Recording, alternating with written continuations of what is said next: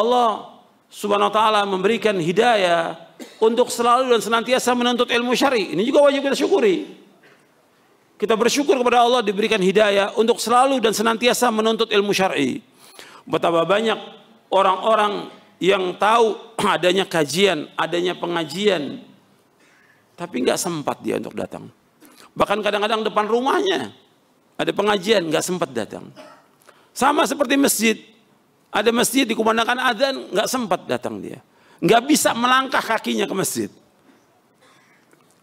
Sampai ada orang di Mekah nggak bisa dia untuk sampai ke Masjidil Haram. Dia tinggal di Mekah. Hidayah. Ini faktor apa? Hidayah. Makanya kita bersyukur kepada Allah SWT.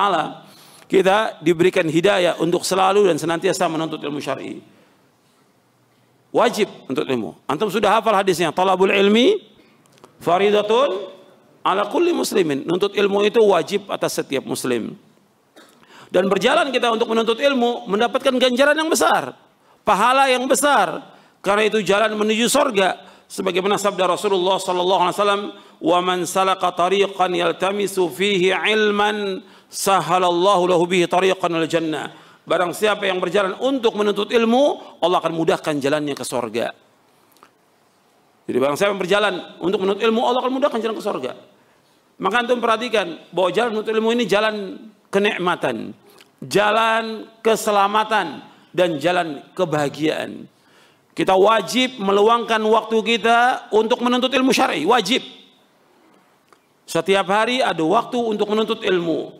Setiap hari harus kita baca buku-buku yang bermanfaat dari Quran dan tafsirnya, sunnah, begitu juga buku-buku dari ulama salaf yang lain yang kita harus baca. Paling enggak kita baca 4 jam dalam sehari. Kalau enggak bisa 2 jam. Harus. Di samping baca Al-Quran, kita juga baca buku-buku yang bermanfaat. Karena kita harus tahu tentang agama Islam ini. Dan banyak yang belum kita tahu. Ribuan sunnah yang belum kita ketahui. Ribuan. Sebagaimana juga kitabnya para ulama. Ribuan kitab yang belum kita baca. Kita harus terus. Tetap. Saya dengan antum sama. Kita sebagai talibul ilm. Kita harus terus belajar dan belajar. Sampai kapan kita belajar? Sampai kita diwafatkan oleh Allah. Sebagaimana dikatakan oleh Imam Ahmad bin Hanbal. Abdullah Ibn Mubarak. Dan yang lainnya. Ketika ditanya sampai kapan kita belajar? Sampai mati. Sampai kita diwafatkan oleh Allah Taala. Jadi belajar itu nggak ada batas umur. Sampai kita diwafatkan oleh Allah. Bahkan ada ulama ahli hadis yang membacakan sanat di akhir hayatnya sebelum dia meninggal dunia. Pas lagi naza dibawakan hadis tentang la ilallah meninggal dengan membaca la ilallah. Subhanallah. Dibawakan sanatnya satu persatu oleh dia. Ini di akhir hayatnya. Enggak berhenti orang menuntut ilmu sampai diwafatkan oleh Allah Subhanahu wa taala. Maka antum harus luangkan waktu. Jangan cuma intisab aja ke salaf tapi nggak nuntut ilmu. Banyak yang begitu. Pokoknya kita ikut sunnah, kita ikut salaf, tapi nggak pernah ngaji. Gak pernah nuntut ilmu. Wajib nuntut ilmu, wajib. Dan harus kita belajar. Coba kita luangkan waktu kita. Waktu kita ini sudah banyak terbuang dengan sia-sia. Untuk hal yang tidak bermanfaat. Kita harus betul-betul belajar Islam lagi, kita ulangi lagi, belajar dari awal lagi.